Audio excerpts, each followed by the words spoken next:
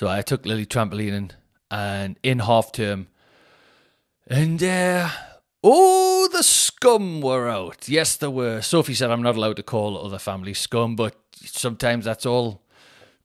Wah! Excuse me. Like I said, where was I? Oh, yes, calling other people scum, of course. yeah, so I took Lily trampoline, and she kind of does half trampoline and half, half like just walking around the trampoline park playing with other things. So you've got the, you've got the lockers there, and she loves just opening the locker and pretending that there's tea cups and saucers and mugs, and we'll just we'll have a break from jumping up and down. And we'll have a break from jumping up and down and we'll just start doing a tea party. And we're having a lovely time and she always says she gets to about you know it's an hour so it's a big session for a two year old right? But we get to about halfway and she starts saying i want juice and I go, Lily, no, we're not getting juice. We've been to do this. Well, you're not having juice. You've got a nice big bottle of water. If you're thirsty, you can drink that. We're going to get juice after trampoline. And that juice is the reward for jumping up and down for an hour so that you can nap and dad can do 90 minutes of work in the middle of the day. And normally it's fine. Every other time it's been fine, but there was this one kid that, that I've never seen. So I, I'm going to attribute it, I'm going to call him half term scum. And it was this one little kid, and he had a, big sweaty kid, right? Like sweaty, horrible kid.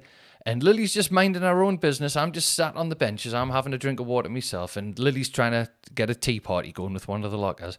And this kid went out and basically Lily walked past and she saw that this kid had a fruit shoot. So she was like eyeing the fruit shooter, but she wasn't going anywhere near him. She was just walking past. And I watched and I watched this little kid just bloody march over, like so bossy, like pointed at her like a pantomime villain, and just went, You aren't having any juice.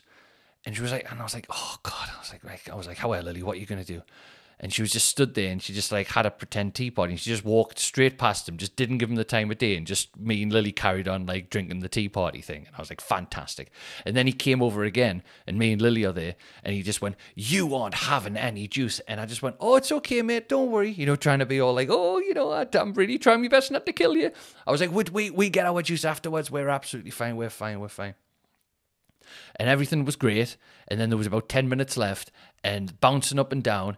And then the kid fucking came over and just went to Lily again and he just went, You don't have juice. And I was like, Right, this is this is getting personal now. This is three unprovoked attacks.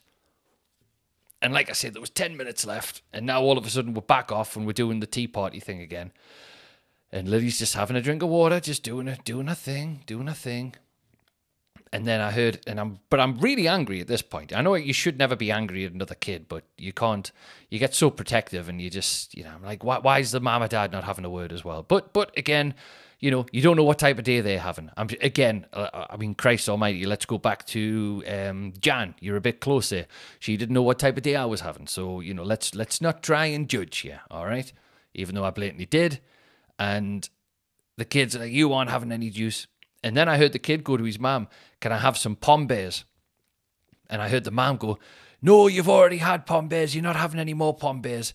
And I, I'm not. I'm 36 years old, and I did this to a three-year-old boy. As soon as I heard the mom say, "You're not having any Pombears," I looked at Lily, and we've got 10 minutes left. You're, you're not meant to leave. You're not meant to go to the cafe until afterwards. But I looked at Lily. I just went, "Lily, would you like some juice?" And she went, "Yes." And I went, just dead quiet. I went, "Would you like some Pombears?" And she was like, Yes.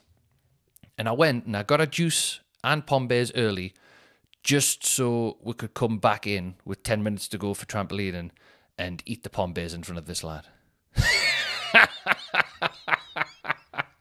and it worked. It worked as well. I'm very happy to tell you it worked. The plan worked wonderfully. Uh, Lily had some juice. She was eating the Pombears. And then I saw the kid, and the kid was like looking at the Pombears. And I was just like, I, I mean, I would have loved to have just stood up and just pointed, going, "You don't get any Pombears, you little twat." You know, but and thankfully Lily didn't because she's already she's two years old and she's already a better person than her dad. I would have loved to have done that, but I just saw the kid look at the Pombears, get gutted, and then he went to his mom. He was like, "Mom, can I have Pombears?" And she was like, "No, you're not having Pombears. You've already had Pombears." I was like, "Ah, that's what you get, you little shit, you little little twat. so a good time was had by all. A Christmas miracle was time. A Christmas miracle was had at the trampoline park. I trying to bloody make Lily cry a little, little so and so. You can't call somebody a so and so after you've already called them a shit and a twat, can you? Yeah.